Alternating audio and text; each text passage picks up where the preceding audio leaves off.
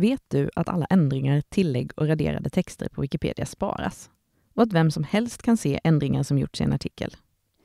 Därför gör det inget om du råkar göra lite fel när du redigerar.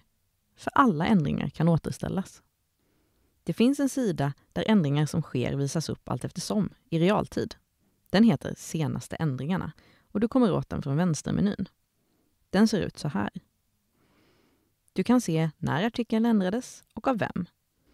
Det finns oftast en notering om vilka ändringar som gjordes. Du kan också se alla redigeringar för enskilda artiklar. Gå in på vilken Wikipedia-artikel som helst, till exempel den om Sveriges riksdag.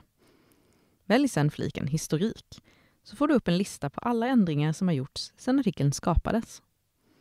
Här kan du jämföra olika versioner så att du ser vad som har lagts till, tagits bort eller ändrats. Då klickar du i de versioner du vill jämföra och visar dem sen. I versionshistoriken visas även olika märkningar för när bottar upptäckt ändringar som är möjligt klotter eller försök att förstöra artiklar. Sådana redigeringar upptäcks och återställs inom några minuter, dygnet runt, av Wikipedias volontärer. På Wikipedia sparas dessutom historik för artiklar som har raderats.